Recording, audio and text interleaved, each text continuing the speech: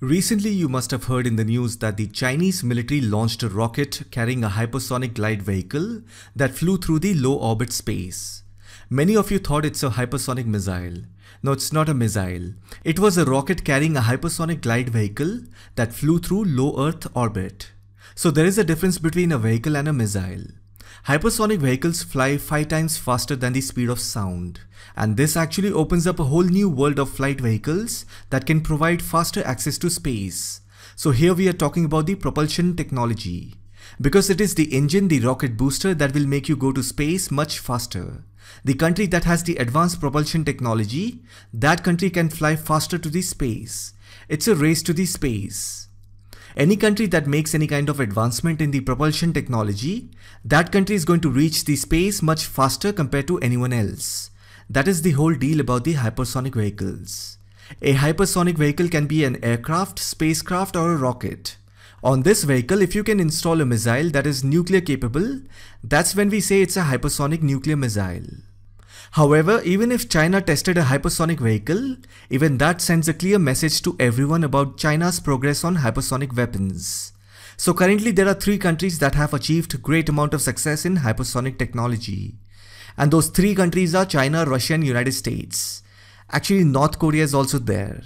But these three countries have advanced and achieved mastery on it. These three nations are in a race to develop hypersonic weapon systems. As I've said, so far they have managed to build a hypersonic vehicle. It will not be a surprise if the next challenge they want to pursue would be a hypersonic cruise missile. But then if you look at Russia, it already has hypersonic weapons called the Kinzhal that it claims can reach a speed of Mach 10. And it says that it has another hypersonic missile called the Avangard that boosted by a rocket can go up to Mach 27. This boosting by rocket is a hypersonic vehicle. That means the hypersonic vehicle will give a certain boost after that the missile that is installed on that vehicle is also a hypersonic missile that will go further more. It all looks like science fiction, right? But the countries are claiming all of this. So anyhow, Russia is the first country armed with hypersonic weapons. Now the next problem is how do you detect hypersonic missiles? See, if one country has a particular technology, then you don't need to find an antidote because no one will compete with you. But then if three countries have the same technology, then you definitely need an antidote. That is why as of now there are four countries that have claimed to have tested hypersonic missiles. They are USA, China, Russia and North Korea. That means right now four countries have hypersonic technology. Development and acquiring of such advanced military technology shifts the balance of power. You all must be aware of the fact that for a long time, the United States had dominated the world politics in military, economic as well as cultural aspects over other nations. We also call it US hegemony. But now with the development of military technology to an extent, where three of the four countries that have developed and acquired hypersonic missiles are from Asia, that definitely changes the balance of military power as well as world politics. This year has been quite interesting in the world of advanced military technology. The US and its western allies are also concerned because Russia, China and North Korea have claimed to have developed hypersonic vehicles as well as missile systems that have the power to go completely undetected on US radars. That means United States has no technology or you can say an antidote for the Asian hypersonic trio. I'll say it again, hypersonic technology has the potential to be one of the world's fastest and most accurate weapons. And if you fit a nuclear warhead, it will reach the pinnacle of modern day weapon technology. Right now apart from these four countries, France, Germany, Australia, India and Japan are working on hypersonics. And Iran, Israel and South Korea have conducted basic research on the technology. In my last video where I was talking about Agni 5 missile, I saw many comments saying, including many Indians who were saying, well it's nothing compared to China's hypersonic missile. True, as of now we don't have a hypersonic missile. But what makes you think that India doesn't have a hypersonic technology vehicle? India has also developed hypersonic technology. As of now, we do have a hypersonic vehicle. All India has to do is put a cruise missile like BrahMos or an ICBM like Agni on the hypersonic vehicle. That will do the job. Since India and China are neighbors, it does not matter whether China has hypersonic missiles or not. What matters is that both the countries have the capability of hitting each other with nuclear weapons even without hypersonic missiles. India as of now doesn't have a threat which is beyond 2000 km range. The two biggest threat of India are right next to each other. In dealing with these two countries, India has all the party items. And few minutes back I've said India and other nations like France, Germany, Australia and Japan are also working on hypersonic missiles. So it is just a matter of time. But anyhow coming to the main point, that is shift in balance of power, United States, China, Russia and North Korea are claiming to have hypersonic missile system and three of them are Asian countries and they have no likeness towards United States. In such a scenario, America is alone. If Russia, China and North Korea joins together, they can pull the balance of world power towards their side. Because United States have not yet developed any system that can defend against hypersonic missiles. The ability to track and take down a hypersonic missile remains a question. And this is also true with the three Asian countries. The only concern for United States is that it is alone when compared to the three Asian countries. Once other nations also catch up to this hypersonic technology, then United States will have some hypersonic allies. Then again, the next challenge would be who will develop a system that can defend against hypersonic missiles or can go up a notch. And by the way, the present hypersonic technology that these four countries have, they are not perfect. I mean to say these hypersonic technology will not hit the target with precision. For example, what China tested recently, their rocket flew through the low orbit space, circling the globe before cruising towards its target, and missed the target by 38 kilometers. And then if you see the flight path of a hypersonic missile is also unpredictable, which is a key advantage for any country. But then the system is not yet perfect. Since it is not perfect, right now it may turn out to be a disadvantage, because any kind of unintended targets can make non-enemy countries to respond by mistake. So overall hypersonic technology is still in development mode. It is not perfect and currently there is no global policy regarding the do's and don'ts of the hypersonic technology. So you see, this technology can easily cause unintended conflicts between countries.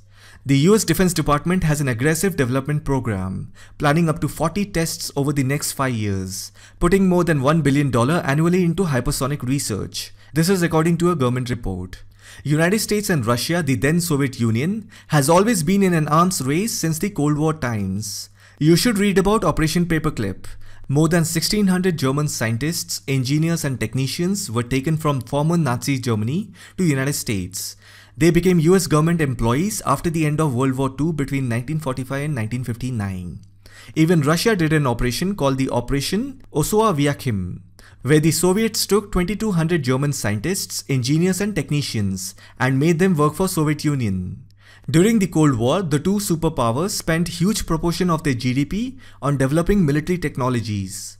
Nazi Germany was ahead of the US and Soviets in developing jet engine. In fact, the Heinkel HE-178 was the world's first aircraft to fly under turbojet power and the first practical jet aircraft developed by Nazi Germany just 5 days before the start of the World War II. So that is how United States and Russia has always been in an arms race since the Cold War era. And one more thing that I want to say is all these things that we are hearing about, hypersonic technology, ballistic missiles, how fast they can go, what they are capable of, all these specifications are notified to us by the government, right? Practically, you and I cannot go inside these secret defense technology complex and see these things, right? So you have to understand a few things. There are a lot of things that the government will not let the civilian know. They need to keep off the radar when it is about defense technology. It is in a country's best interest to not reveal secret defense programs like hypersonic aircraft and missiles, advanced propulsion like no heat signatures, no sign of propulsions. You see, there is tremendous competition going on among countries specifically for controlling and weaponizing space. And countries also conduct espionage, spying, hacking to obtain political and military information. I'll give you an example of that. Recently, the Chinese Communist Party achieved 100 years, right? As usual, China's leader Xi Jinping spoke on it. He said that the Chinese Communist Party will turn China into the biggest player in the history of the world. When such a statement is made, the next common question that comes in anyone's mind is, can they do it without colliding with America? Because even America wants to remain as the biggest player in the world. तो अगर आप देखो ये हो गई एक मयान में दो तलवार वाली बात. And then you must have also heard about the Global China 2049 initiative. Read about it if you want to understand it more. But then I will give you an informal summarization. It is called China's expansionist policy. By 2049, China wants to be the global superpower. You must have noticed how China is expanding its naval power. China is also taking over many tech companies and asking them to share user information. And then China also has a lot of influence and control on its own people when compared to other countries' governments. I don't know if you know this, last year in December, there was a cyber attack in United States. Read about SolarWinds hack. It was one of the most sophisticated hacks ever done. Microsoft was the first company who came to know about it, and as per the US government, the Russian intelligence was behind it.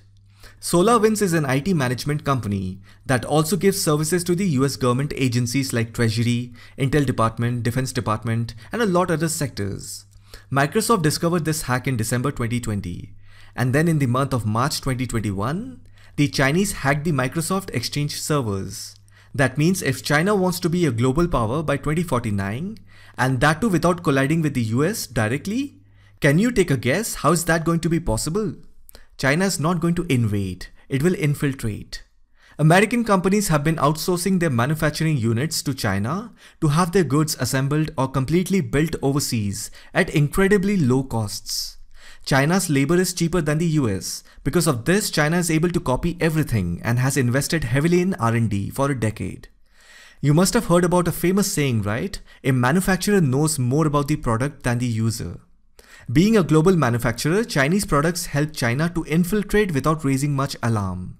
That is how China has decided to be on the top of the food chain. China steals information because it is a lot easier to reverse engineer things. That is why the Indian government banned many Chinese apps this year in January, right about the same time when America had cyber attack. Now I'm not saying the West doesn't do that. Hacks are done by almost everyone who has achieved a certain level of expertise and have advanced technology but try to understand the difference in the approach. I'm not defending anyone, I'm just trying to make you understand the approach. The Western country has very targeted approach. For example, if you need so-and-so information for national security, you prioritize it and go out and figure out who has access to it, and then you plan how to acquire it. This is what the Western countries do. Now, if you look at the Chinese, what they do is they have a long-term approach. They gather all sorts of information and data first and then sit and sort out later. Through low-rate Chinese gadgets, apps, they get plenty of user information. They acquire all of that and then sit and sort it out. This way Chinese work on multiple projects. This is also how the Chinese can infiltrate in societies, organizations and develop a target. Since the United States has a racially and ethnically diverse population, China can easily plant a student in America who is actually working for the Chinese intelligence. That student will finish graduation, get a job and might even get into the government. So what I'm saying is China is willing to put that much of long-term effort and investment. Now the same method might not work in India, but don't be surprised if China has a different plan towards India. If you and I can think about it, don't you think the governments are doing it? Now it is no more a secret. China funds many anti-India protests. They engage in propaganda through their media outlets. Everyone knows about China's direct funding to Pakistan. And then there are indirect funding to some internal anti-state elements. China has even hacked India's power grid. Do you remember that? That also happened right about the same time when Microsoft Exchange was hacked. Of course, the Chinese deny it, but the Indian government blames China. Power grids are part of any country's critical infrastructure. Russians have also done the same thing in Ukraine in September 2015. Somewhere if you see, you will get a feeling that Russia and China cooperates on these matters. North Korea gets the technology and help from China, that's no secret. In fact, North Korea's ICBMs are a copy of Soviet designs. North Korea is China's proxy against South Korea and Japan. Likewise, Pakistan is China's proxy against India. So if you see these trio, Russia, China and North Korea, they cooperate on these matters. But anyhow, the Chinese are not going to stop. They will keep doing it. India has to continue making it more painful for them. That's the only way. You have to find new ways of making it painful for China. United States is already doing it. The regular methods that you see are already in place like sanctions, trade war. India uses a different approach like banning Chinese apps and technology, then raising Taiwan issue, Tibet issue, pressing China's aching vein that is its trade routes via the Indian Ocean, and inviting the West to conduct naval exercises in the Indian Ocean region. But then if you want to counter China, as harsh it may sound, you have to find new ways to make it painful for China. Because the Chinese regime is ruthless. They're already a master of debt trap diplomacy. China invests in many countries' infrastructure projects, fully aware that they will not be able to return back the money. China then acquired a piece of their assets. China has done that to Pakistan, Nepal, Bhutan, Sri Lanka, many of the Eastern African countries like Kenya, Tanzania, Ethiopia, Mozambique. Then in Latin America, countries like Venezuela, Colombia, Bolivia, Mexico, all these countries are the most in debt to China. Tomorrow, China will also roll out 5G network in these countries, especially in Latin American countries. China's tech companies are anyhow in Communist Party's control. So China's 5G ambitions in overseas can definitely turn out to be a potential threat to United States soil. And not just United States, to India as well. After all, today all you need is a high-speed communication line for spreading propaganda and fake narratives. So you see it is not in the best interest of anyone to let China expand its influence. I hope you found this video informative. Thank you for watching it.